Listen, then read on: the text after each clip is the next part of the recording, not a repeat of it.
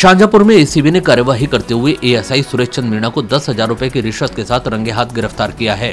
ACB DSP Salem Mohammad ने बताया कि परिवादी राजकुमार और अजीत सिंह द्वारा एएसआई के खिलाफ रिश्वत मांगे जाने की शिकायत दर्ज कराई गई थी, जिसके सत्यापन के बाद आज थाने के गेट पर रिश्वत के साथ रंगे हाथ एएसआई को गिरफ़्तार कर लिया गया।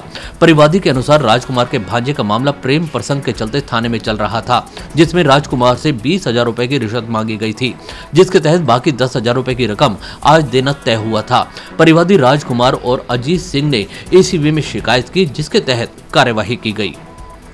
मामला परिवादी हैं अजीत सिंह नीमराना निवासी।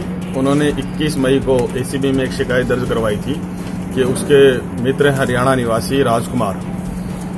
उनके भांजे के खिलाफ कोई मामला, एक शिकायत दर्ज हुई थी। पुलिस थाना सांजापुर में कोई लड़की को बगा ले जाने के लिए शादी करने के संबंध में। तो उसकी जाँच एएसआई सुरेश चंद मीना कर रहे थे, ये उससे मिले थे आके, परिवादी और राजकुमार शर्मा। तो इन्होंने इनसे बीस हज़ार रुपये रिश्वत की मांग की, जिस पर हमने 20 तारीख को रिश्वत मांग का सत्यापन करवाया था। तो परिवादी अजीत सिंह और उसके मित्र राजकुमार शर्मा इनसे आकर मिले थे। तो इन्होंने जो शिकायत थी राजकुमार शर्मा के भांजे के खिलाफ, उसमें आगे कोई कार्रवाई नहीं करने और अब तक जो कार्रवाई की है, उसके इनाम के रूप में बीस हज़ार रुपये रिश्वत की मांग की।